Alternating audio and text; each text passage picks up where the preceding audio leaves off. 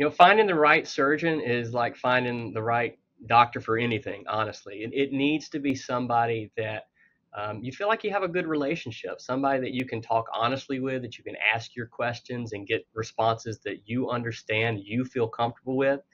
Um, because epilepsy surgery, you know, it's not a it's not a benign undertaking, and so when you undergo epilepsy surgery, you want to know that you feel very comfortable, that you have all the information you need to make the right decision for the treatment uh, for you. Uh, and so, you know, things you might think about, you want to know, uh, you know does this person uh, do epilepsy surgery often? If they do epilepsy surgery often, do they do the type of surgery that they're proposing for you often? Um, do they have experience uh, maybe in your age group, for instance, if it's a kid, do you have pediatric experience? Um, uh, but most importantly, as I said, it's about it's about the person. do you feel comfortable um, with the physician? Do you feel comfortable with the team? Because it's not just about the neurosurgeon. Do you feel comfortable with the epilepsy team, the nursing staff, the hospital environment, all the people you encounter? Because the entire program is what's really responsible for your epilepsy surgery, not just one person.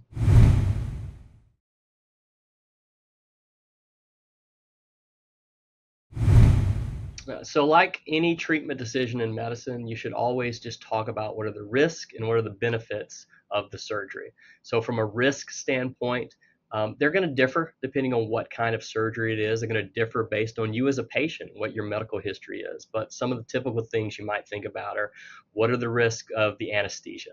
Um, is there bleeding risk to the procedure? Is there a risk of something like stroke or, or something else that could, could leave you with a deficit, maybe? Um, weakness, for instance, sensory change, maybe vision or, or language uh, changes. Is there a risk of infection? Um, so those those are the kind of risk questions that we generally want to address. And you want to think about like what are the chances it's going to be successful? Like what are my chances of seizure freedom or meaningful seizure reduction, and how much is that seizure reduction, or at least what do we expect it's going to be? You might also want to ask about the surgery. Very important question. Is the surgeon going to shave your head before they do the surgery? Are they going to cut your hair in some way? Or do they leave the hair perfectly intact? A very important question. After surgery, you might want to understand from them once the surgery is done, uh, do they expect to wean any of your medications or are they going to stay the same? If they are going to wean them, like when? Is it going to be right away or are they going to wait months before they start the weaning process? If there is an adverse effect or something maybe uh, that was expected, maybe they expected to have some weakness after the surgery, what does that look like? Is there going to be a rehab time? And if so, how long is that time? What kind of rehab is it going to be? What are the chances, you know, that one could recover um, from that kind of uh, that kind of deficit? Um, so those are all kind of good global questions to think about, understanding everything from the moment to the operating room to the time till you get to go home from the hospital. What can you expect?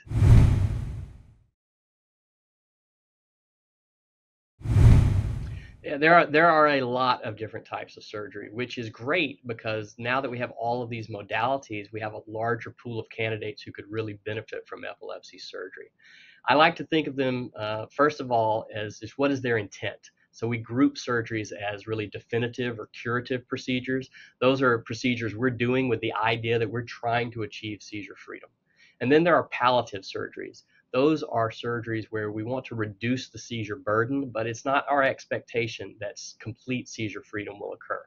Now, I don't like the term palliative epilepsy surgery because palliative sounds like an end of life term, and palliative surgery is not like last resort end of life treatment. It is really something that should be done early if it is warranted to reduce the overall seizure burden.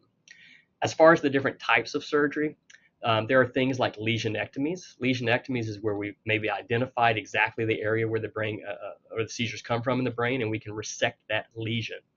Then there are lobectomies, where we may remove an entire section of the brain, like the frontal lobe or the temporal lobe. You can do a hemispherectomy, where you remove the entire hemisphere. You can do um, minimally invasive things like um, thermal ablation or what we call laser ablation, where you identify a small area um, that the seizures are coming from, you can insert a laser uh, in a minimally invasive way and just burn that area of the brain uh, so that you preserve the healthy tissue around it.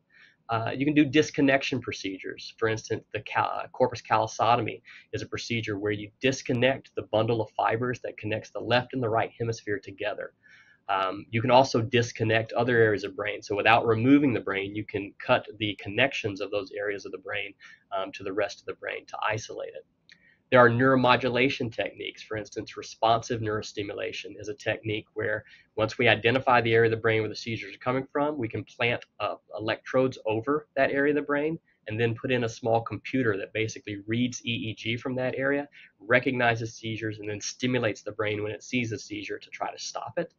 Uh, and then we have things like thalamic stimulation, like with a deep brain stimulator, where we put electrodes into the middle part of the brain called the thalamus, which is basically like the area where everything in the brain plugs into. And if you can stimulate that main power center, you can modulate brain activity and hopefully reduce seizures. So, really, uh, an abundance of options for us to consider, which gives us a large pool of people who could benefit from epilepsy surgery as a result.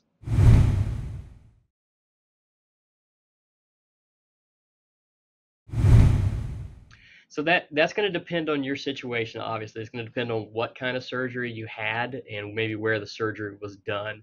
Because where the surgery was done, meaning in the brain, it may depend on whether there's, um, you know, maybe weakness or vision changes or something like that that requires rehab. Um, but speaking very broadly, in general, um, things like laser ablation, which are minimally invasive procedures, honestly, people can come in can exit the operating room with a single stitch in their uh, scalp from where the uh, probe went through and may go home from the hospital in a single day uh, with like very little pain. Um, larger, maybe open procedures like craniotomies, where the skull needs to be removed to expose the brain to do the surgery, you can expect there's going to be some pain and pain management that has to be dealt with. Um, uh, you may especially have some trouble like moving the jaw um, just because of the muscle on the side of the head that controls that jaw will have some pain to it. But that's stuff that you, you know you recover from. Uh, you can have you know, sometimes some nausea and stuff from anesthesia like you would with any uh, surgery.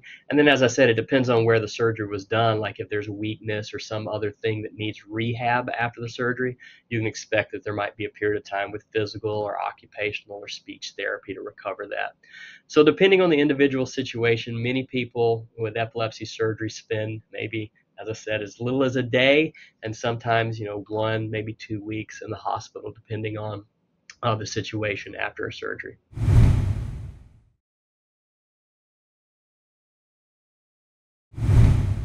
So knowing if a surgery works depends on what your outcome was uh, going to be, like what you wanted the outcome to be. Sure, seizure reduction, seizure freedom, that's the common one we think of. But sometimes people get surgeries like the palliative procedures I mentioned earlier because they want seizure reduction, maybe they want to improve overall quality of life, maybe they want to get rid of a certain type of seizure that was resulting in falls and injury. So all of those different things will depend on really when you can feel like um, the surgery worked.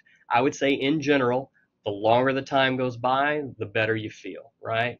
If you're having a frequent number of seizures before the surgery and then at the one month follow up you're having none, you can feel pretty good about that, right? That the surgery was helpful. But understand that some people, just like with medicines, experience a honeymoon period after surgery. So then when they come back at six months, when they come back at one year, each time they're still doing well, you feel better and better. Two years in general after surgery is a pretty good indicator of long-term outcome. Uh, so we use that number a lot um, because you're less likely to have recurrence uh, after that two-year period, but it can still occur. So it's not the chances are not zero after two years, but uh, it is a pretty good indicator for long-term outcome.